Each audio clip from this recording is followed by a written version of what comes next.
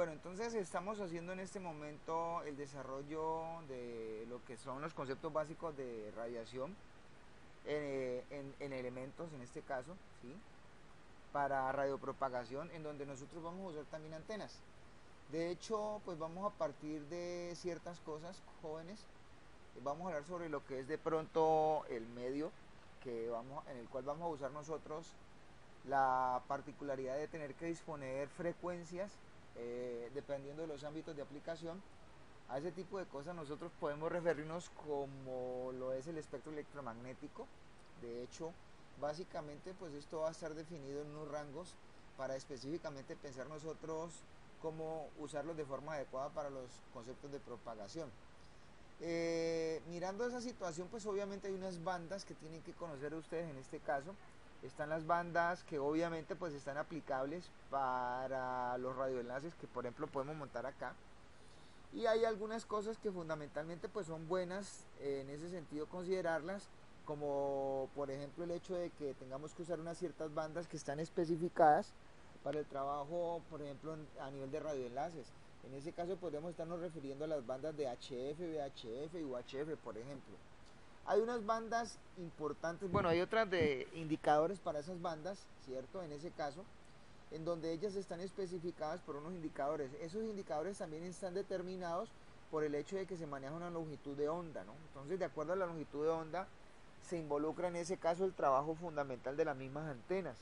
Entonces, nosotros hemos encontrado acá que de acuerdo a una ecuación de desarrollo, eh, esto nos permite a nosotros especificar en función de la frecuencia y la longitud de onda con respecto a la velocidad de propagación de una onda misma en ese caso, determinar de qué tamaño es el elemento radiante. Entonces, lo primero que tenemos que tener en cuenta nosotros es que aquí tenemos que considerar la teoría de campos, ¿sí? Entonces, dentro de ella, pues nosotros no vamos a hacer muchos manejos matemáticos, vamos a tratar de usar esos conceptos, cómo aplicarlos y de hecho, pues obviamente nosotros tenemos que considerar que nosotros estamos involucrando cargas que se van a dispersar en el, en el medio, en ese sentido, para que puntualmente, pues obviamente tengamos en cuenta un, trabajo vectorial, porque nosotros estaríamos especificando manejos de trenes de manejo de trenes de ondas, sí, que van a estar eh, indicados para ser enviados en ciertas eh, direcciones en ese caso. ¿Listo? Entonces, digamos que puntualmente, pues eh, la, parte inicial de esto la determinó en ese caso el hecho de considerar los elementos radiantes. En los elementos radiantes, pues nosotros consideramos las leyes de Maxwell. ¿sí? Las leyes de Maxwell, básicamente, pues podríamos decir que es como una familia de cosas que podríamos nosotros considerar para el desarrollo de los de los que de lo que son las consideraciones y el manejo electromagnético en ese caso de la digamos que de los medios sí digamos que con la implementación del manejo de las señales en este caso. Ahora eh, digamos que hay dos ecuaciones que están hablando acá que son por ejemplo las ecuaciones de Faraday y las de Maxwell Ampere que son las que dicen que hay una dependencia mutua entre lo que es el concepto del campo eléctrico y el campo magnético que supuestamente está variando en el tiempo en ese caso. De manera que pues allí están supuestamente considerando a través de esto una interrelación. ¿Listo? Eh, pues obviamente nosotros no estamos hablando acá de los conceptos de campos electromagnéticos estáticos que no varían en el tiempo, estamos hablando de las dependencias que van a existir con las ondas que realmente se disponen o se dispersan en el, medio ambiente. Entonces básicamente eso está haciendo alusión a eso, al hecho de que nosotros tenemos conceptos densidad de corriente, densidades de cargas eléctricas en este caso. ¿Listo? Entonces, también podemos especificar algunas cosas como son, por ejemplo, los potenciales auxiliares. Eh, de hecho, este tipo de cosas, eh, una vez que uno las conoce teóricamente, las puede aplicar un poquito de fondo, de, desde, pronto, desde pronto el punto de vista práctico. Si en ese caso, considerando pues que hay unas situaciones eh, de aplicabilidad de esto que involucran les digo a ustedes, ¿sí? digamos que el conocer a fondo esta teoría de campos, ¿sí? el demostrar, por ejemplo, eh, cómo fluctúa un campo magnético, qué relación existe entre el campo magnético y el campo eléctrico desde ese punto de vista, eh, a través de medios de, o sea, a través de fronteras y a través de, en ese caso, determinando potenciales. Eh, pues existen muchas otras ecuaciones, en este caso, por ejemplo, hay una cosa que llama la condición de Lorentz, ¿sí? Digamos que son situaciones con las cuales nosotros vamos a considerar desde ese punto de vista un manejo puntual. Para lo que son estas ecuaciones de ondas. Las ecuaciones de ondas ustedes en ese caso pues las podemos barrer, digamos que eh, considerando que nosotros las vamos a pensar como mecanismos dinámicos que se van a estar, eh, digamos que propagando, que es la palabra que tenemos que hacer acá, en el espacio y en el tiempo. De hecho, hay algunas cosas que hasta podríamos considerar nosotros eh, cuánticas, ¿sí? porque pues el movimiento de las ondas puede ser mirado desde varios puntos de vista. ¿no? Por ejemplo, allá por allá por ciertas épocas había un señor que llamaba Albert Einstein que determinaba pues que obviamente pues una, una, onda que se desplazaba en el tiempo ¿sí? una con respecto a la otra dependiendo de la forma en como ella se estuviera eh, digamos desplazando se mostraban entre ellas dos un concepto relativo en ese caso ahora de considerar nosotros tenemos que involucrar también acá para considerar acá es el hecho de mirar cómo eh, los campos eléctricos y magnéticos van a estar relacionados específicamente con la forma en como un elemento puntual maneja sus cargas. Básicamente todas estas cosas, todas estas cuestiones de los potenciales, todas estas ecuaciones en este caso, puntualmente hablando, ¿sí? nos van a determinar es que de acuerdo a las características físicas de cada elemento radiante ellos van a concentrar específicamente sus cargas, ¿sí? En ese caso, entonces eh, existen obviamente, como hemos dicho nosotros, una relación puntual entre lo que es el concepto del campo eléctrico y el campo magnético.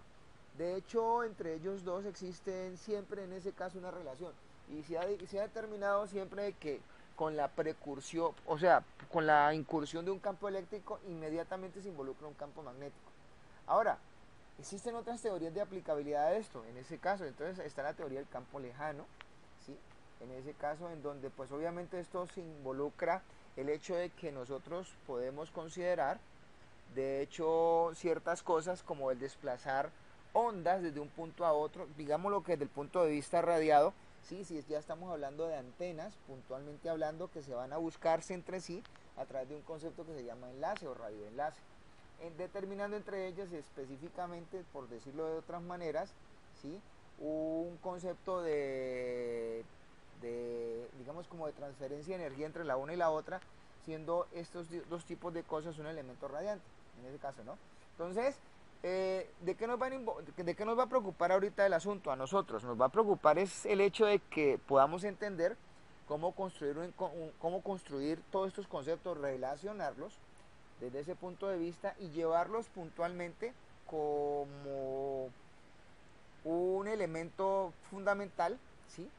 Para que a través de él nosotros podamos hacer el concepto de la transducción. O sea, ¿qué tiene que hacer todo elemento de estos? Obviamente, pues lo que vamos a hacer nosotros es con estos campos radiados, llevarlos puntualmente a que ellos pasen de un concepto eh, eléctrico a un fenómeno electromagnético. O sea, básicamente lo que queremos hacer nosotros es radiar, eh, radiar energía, en ese caso. Entonces, las antenas, básicamente, van a llevar a cabo o van a relacionar a cabo toda esa, toda esa teoría. ¿Sí? Porque todo eso es un formalismo que tiene que conocerse, en ese caso, para llevar a cabo todo este concepto. Ahora, ¿cuál es el objetivo de esto? El objetivo de esto es tener unas características básicas con las cuales yo pueda determinar que una antena pueda tener un rendimiento, una ganancia, un concepto de as, o sea, algo que me determina a mí qué tan buena o qué tan mala es produciendo un campo campos electromagnéticos, qué tan idónea es en ese sentido de acuerdo a su posición. Por ejemplo, también el cálculo de la intensidad del campo eléctrico en un punto remoto de una antena que está transmitiendo y el cálculo de la potencia recibida por una antena receptora que está apartada de una antena transmisora. Entonces, en ese caso podríamos decir nosotros, sí, que los conceptos de las antenas básicamente se van a considerar de acuerdo a estas referencias. Un transmisor usa una antena transmisora que emite ondas electromagnéticas y un receptor usa una antena receptora, si lo miramos desde ese punto de vista y con esta referencia, que recibe ondas electromagnéticas. Entonces, aquí vamos a definir nosotros lo que es una antena. Una antena básicamente es una estructura, como se menciona allí, de carácter físico que está usualmente hecha de un material que tiene que ayudar a determinar el transporte de cargas, o sea, un conductor, en ese caso, que de acuerdo a su estructura física va a poder radiar una determinada potencia electromagnética y en un concepto, digamos que eficiente. Entonces, eh, ¿cuál es la idea de esto? Entonces, en ese caso es que nosotros cojamos sobre esta incidente antena el hecho de que podamos introducir cargas eléctricas y podamos nosotros hacerlas, eh, convertirlas en ondas radiantes, ondas electromagnéticas que estén variando en el tiempo. Entonces, por ejemplo, aquí tenemos un pequeño concepto de una línea de transmisión a la cual hemos conectado en este caso un concepto que se llama dipolo. Entonces, donde allí nosotros allí estamos aplicando ¿sí? un campo eléctrico que se está replegando en ese caso con intensidades de carga sobre ambas partes, en ese caso. Entonces, eso involucra el hecho de que hayan manejos específicos de campos eléctricos y campos magnéticos. Entonces, las ecuaciones de Maxwell nos ayudan a nosotros a determinar y a caracterizar ese fenómeno especificado allí, cierto en ese caso, y a determinar el, el principio de la superposición, puntualmente hablando, ¿sí? allí es aplicado también por el hecho de que haya una distribución de corriente, en ese caso, ¿no? ¿Ya? Bueno, eh, de hecho una antena lo podemos también caracterizar nosotros dentro de un circuito de comunicaciones como un elemento final. De considerar una antena puede estar apta tanto para recibir información o para radiarla. Entonces, una antena, digamos que es básicamente un elemento puntual en un circuito de comunicaciones, en ese caso, que específicamente ella representa un generador de información y también una impedancia, o sea, una resistencia. De considerar, pues en ese caso eh, hay una cosa que se denomina entre ellas, ¿sí? La, la forma en como ella en ese caso se conecta a un circuito de comunicaciones y eso se considera como adaptación, ¿cierto? O sea, una antena tiene que estar adaptada a un circuito de comunicaciones como un elemento radiante, de acuerdo a su impedancia, para que determine con esto el teorema de la máxima transferencia de la energía. Entonces, por aquí tenemos nosotros una forma en cómo se hay una hay, eh, una forma en cómo se está definiendo una, una, radiación de un campo eléctrico y que se vuelve un campo de campos eléctricos y magnéticos, perdón, en donde están incidentes en una misma antena. Entonces aquí estamos viendo nosotros básicamente, como pueden apreciar, la forma en cómo este fenómeno se representa. Entonces, por ejemplo, aquí hay una pequeña reseña histórica con la cual nosotros estamos determinando pues quién fue el que comenzó con estas cosas. Se puede decir en ese caso que esto lo comenzó a trabajar inicialmente el señor Maxwell, ¿sí? por ahí en 1854, pero ya habían habido albores de trabajo sobre esto en el cuento manejado por lo que fue la telegrafía. ¿sí? También tuvo inicios con el señor Henry Hertz, Hertz, en ese caso el señor Guillermo Marconi. Pero ahora, importantes a que eh, personas que hayamos que mencionar acá, pues yo diría que uno de ellos fue Marconi, me parece a mí, el señor Hertz, en este caso, sin olvidarnos, sin, nunca olvidarnos del señor Maxwell, ¿no? En este caso. Pero pues digamos que si hablamos de hitos dentro de esto, yo diría que uno de los principales hitos dentro de esto fue el hecho de que se comenzaron a generar estas tecnologías por de acuerdo al, concepto, ah, perdón, de acuerdo a ciertas cosas que comenzaron a suceder en este caso, como lo fueron las guerras mundiales. Bueno, ¿cuáles son las características de una antena realmente? Entonces una antena básicamente se caracteriza por la densidad de potencia radiada, por su ganancia, por una cosa que llama la directividad, por la relación delante-atrás, por la frecuencia o banda de trabajo, por la impedancia que ella presenta, por la carga al viento, por una cosa muy importante de conocer que se llama el patrón de radiación y el ancho de banda de la misma antena, o sea, el campo de frecuencias donde ella trabaja supuestamente de forma adecuada. Entonces, por ejemplo, la densidad de potencia radiada se puede calcular puntualmente en ese caso como esa consideración que se mide por unidad de superficie en una aplicando energía en una determinada dirección. Entonces, ¿cuál es la unidad de esto? Los vatios por metro cuadrado. Entonces, ¿Cómo se puede calcular? Pues se puede calcular a partir de los valores del campo, de la parte real determinada vectorialmente del producto cruz, en este caso del campo eléctrico y del campo magnético. Eh, la intensidad de radiación, por ejemplo, es una consideración que se da determinada, digámoslo así, de acuerdo a la posición angular de algunos parámetros dentro de esto y se mide en vatios por estéreo radiano. ¿sí? Esa es la potencia por unidad de ángulo sólido, en este caso. Eh, la potencia radiada, por ejemplo, nosotros la podríamos nosotros considerar también, acá en este caso, como una doble integral, básicamente, ¿sí?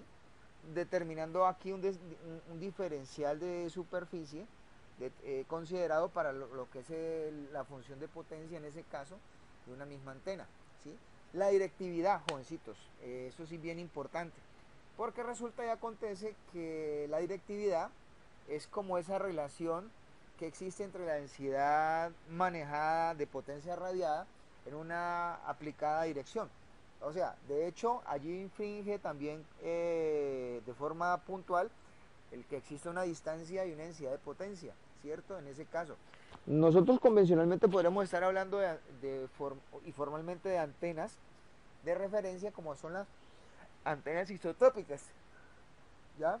Entonces, digamos que la consideración de esto es que la directividad es una característica que a nosotros nos sirve para considerar es hacia dónde puntualmente puede estar apuntando el, digamos que en ese caso, la potencia de la antena a nivel de sus lóbulos, en donde supuestamente en ese caso eh, podríamos decir que es más aprovecharle la misma antena, ¿cierto? Entonces, uno podría indicar que esa directividad puede eh, involucrar el hecho de que se considere una posición. o sea, en otras palabras, las antenas dependen de la posición. ¿sí? Entonces, por ejemplo, aquí tenemos una antena isotrópica, como pueden apreciar, que es la supuestamente esfera que tenemos acá, versus en ese caso comparado con la directividad que puede considerar una antena en ese caso diferente que es la que está acá en la, en la pequeña o eh, ¿cómo le dice a esto? La pequeña rosca que tenemos acá, ¿sí? en ese caso. Eh, de hecho, la forma en cómo se muestra la directividad de una antena isotrópica es una directividad, digamos que muy ideal, porque es un elemento radiante considerando la eh, radiación de cargas en todas las direcciones en una esfera específica. ¿no? Entonces, eh, de hecho, la forma más fácil de considerar una antena es considerar un radiador isotrópico. Como decía, es un concepto teórico. ¿Por qué? Porque con una antena de estas uno radia la potencia, como se menciona acá, de forma igual en todas las direcciones. Como les repito, es un, es un elemento radiante de referencia y es teórico, no, no es nada más. Por ejemplo, puntualmente a veces nosotros usamos las antenas isotrópicas para hacer mediciones y referencias con respecto, por ejemplo, las antenas a las antenas parabólicas. ¿sí? En ese caso, aquí tienen ustedes un ejemplo de lo que es una antena isotrópica. Y, obviamente aquí estamos puntualmente hablando de que ella va eh, a referenciar sus campos específicos de radiación eh, de potencia en todas sus direcciones. Entonces sería algo bastante, pero bastante supuestamente determinado de esa manera. Ahora, ¿cómo se caracteriza una antena? Habíamos dicho que uno de los parámetros característicos de las antenas son las ganancias. Entonces nosotros cuando estamos hablando de ganancia, en este caso, cuando hablamos de ganancia de una antena es la relación que supuestamente está considerada entre la relación que existe, si la ganancia considera la relación que existe entre la tensión máxima captada por la antena y la tensión máxima captada por, captada por un dipolo. Entonces, en ese caso, pues obviamente esto se puede describir desde un punto de vista o un concepto logarítmico. ¿sí? Eso sería una ganancia. Y eso indica en ese caso que son básicamente cosas que dentro del recorrido de un circuito de comunicaciones son consideradas como efectos positivos. Eh, de hecho, la ganancia y la, directividad tienen en ese caso una buena relación. ¿Qué quiere decir esto? Aquí nosotros tenemos, por ejemplo, eh, para mostrar un patrón de radiación de una antena, en este caso, que no es isotrópica, que es altamente directiva, porque los lóbulos de este específico patrón de radiación son dirigidos en este caso. Entonces digamos que la ganancia y la directividad podrían relacionarse en ese caso, ¿sí? Porque obviamente pues hay unas cosas que son muy similares, como pueden mencionarse acá, en cuanto a la forma en cómo este tipo de factores se están determinando, ¿cierto? Entonces podríamos decir nosotros, ¿sí? Que la directividad es un valor teórico que ignora las pérdidas, en tanto que la ganancia sí incluye las pérdidas. Entonces uno podría decir en ese caso que la ganancia podría relacionarse en ese caso como la directividad por el valor de la eficiencia, ¿cierto? O sea, lo que tan eficiente es un sistema. O sea, porque como obviamente estamos diciendo que la directividad es algo que ignora las pérdidas, la eficiencia haría, en ese caso, eh, su relación con la directiva para entregarnos realmente lo, cómo se comporta a nivel de ganancia una antena. ¿sí? Entonces, digamos que aquí es muy bueno tener módulos computarizados para calcular específicamente hablando el concepto de la directividad. Bueno, acá, por ejemplo, podemos ver nosotros, ¿sí? Cosas como puntuales. Aquí tenemos dos un patrón de radiación bastante específico, en donde esta antena está mostrando lóbulos. Ahora, hay que considerar también cosas importantes. Las antenas no pueden crear potencia, ¿sí? Las antenas solo pueden direccionarla, como para que de pronto entiendan eso. Otra de las situaciones fundamentales son las con las cuales nosotros vamos a describir qué, tanta, qué tanto desempeño tiene una antena. Entonces eso se hace a nivel de dBs. Y aquí tenemos una relación que existe entre lo que es el dBi y el dBd. El dBi es el dB referido al radiador isotrópico. O sea, son los decibeles que están en este caso relacionados en ese sentido por el radiador isotrópico. Pues estos son usados en microondas. El radiador isotrópico es básicamente una antena infinitamente pequeña, sin cable alimentador, que obviamente radia sobre el espacio libre que tiene un patrón esférico. Y el DVD es el, DB referido al dipolo de media onda, ¿sí? ¿Qué significan esos decibeles que están relacionados con un dipolo ideal que, tiene el, que es también de media onda en una dirección máxima de radiación? Convencionalmente, pues obviamente, eh, convencionalmente, pues, ¿qué es lo importante? Que uno puede relacionar el DBI y los DVDs. ¿Qué es en ese caso el DVD? El DVD sería el DBI más 2.15 dB en este caso. Es una relación que supuestamente se encuentra de ajuste en los patrones de diseño. Acá tenemos, por ejemplo, formas también de especificar eh, con ecuaciones, obviamente, la directividad. Pues obviamente la directividad se puede especificar en función de lo que son los ángulos eh, de dispersión de los vectores de campo eléctrico y magnético. Eh, la directividad también se puede especificar de, mucha, de otra manera. Por ejemplo, acá se está considerando, en ese caso, que la directividad se puede medir de acuerdo a unos ángulos, ¿sí? De hecho, por ejemplo, acá hay unos casos particulares con los cuales habría que revisar y determinar, por ejemplo, cuál sería el, valor de la directividad. Entonces uno puede aplicárselo, en este caso, por decirlo así, a esa relación de la directividad, ¿sí? De acuerdo al concepto de dipolo que uno esté manejando. De hecho, mm, no sé si de pronto sería bueno traerlo de una vez a consideración, pero todas las antenas pueden eh, ser cambiadas de acuerdo a su forma física. Por ejemplo, aquí tenemos un horn, ¿sí? un cono, que tiene una dirección de propagación un poco diferente con respecto a las antenas que supuestamente tienen radiación, eh, en ese caso eh, isotrópica, como es el de la, antena isotrópica, o, una, un patrón de radiación directivo, como el de otra posible antena, ¿cierto? Entonces, de acuerdo a la consideración, algunas antenas pues muestran unos parámetros de rendimiento. Por ejemplo, en este caso, aquí tenemos nosotros una potencia radiada eh, dependiendo de una antena, ¿sí? A una distancia determinada. Y eso nos va a indicar a nosotros qué tan eficiente puede ser la antena, ¿cierto? Otra de las cosas importantes que están relacionadas con esto son la altura efectiva. ¿Por qué se revisan este tipo de cosas? porque este parámetro está relacionado específicamente con la potencia liberada a la carga. De hecho, esto hace que supuestamente una antena sea eficiente, ¿cierto? Entonces, esas son de las cosas que podríamos nosotros mencionar. Ahora, de todos estos parámetros, pues yo pensaría en este caso que uno de los importantes que hay que mencionar acá es su patrón de radiación. ¿Qué es un patrón de radiación para una antena? Para una antena es la representación gráfica de las intensidades de los campos, como se menciona acá, o las densidades de potencia que tienen supuestamente una antena en varias posiciones angulares con respecto a su arquitectura física. De hecho, aquí podemos ver en ese caso que esto representa unos conceptos que se denominan lóbulos. Los lóbulos son estas curvas que vemos acá, que es hacia donde se concentra el haz de potencia radiado de la misma antena. Entonces, por ejemplo, esta antena tiene cuatro lóbulos, en donde uno de ellos es el lóbulo principal y los otros son lóbulos secundarios. En donde podemos apreciar, pues obviamente que ya de acuerdo a su posición, de acuerdo a su especificación, pues radia en ese caso un patrón de radiación, valga la redundancia. Entonces, por ejemplo, los diagramas de radiación que se van a construir van a depender en ese caso de las características físicas de la antena que determinan las características de radiación de, en función de lo que es en ese caso el dispositivo.